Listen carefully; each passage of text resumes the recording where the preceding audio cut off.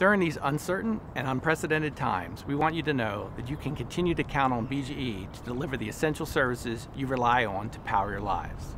Our employees, 3,100 strong, are committed to keeping the natural gas flowing and the lights on during this global health emergency.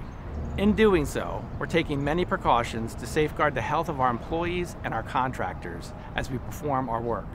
This emergency changes many of the ways we work, but it doesn't change our commitment to serving you. That commitment also extends to our customers who are affected financially during this crisis.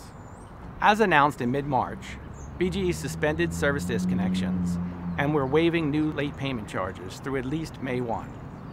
We're also working with customers whose service was disconnected prior to this moratorium to have their service reconnected, if we can safely do so. In addition, since many of you are spending more time at home, please be sure to visit bge.com for energy savings tips to help you manage your energy use. You'll also find other useful information there. We're taking these measures to do our small part to help relieve some of the anxiety and stress associated with this pandemic. We are also committed to doing our part to continue to support our community through charitable contributions.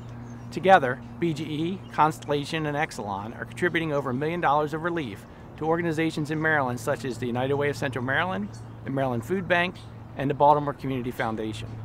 This is part of a more than $5 million donation by Exelon and its family of companies nationwide to support communities impacted by the spread of the coronavirus. Getting through this pandemic requires everyone to lean in and do their part to lift up our community. We are grateful to support these important organizations in their time of need. Now, more than ever, we want you to know that we're here for you. This is an extremely fluid situation and want you to know that you will continue to see BGE employees who are essential service providers in our communities during Governor Hogan's stay-at-home order. We appreciate your support and patience as we power through this health emergency together. Stay well.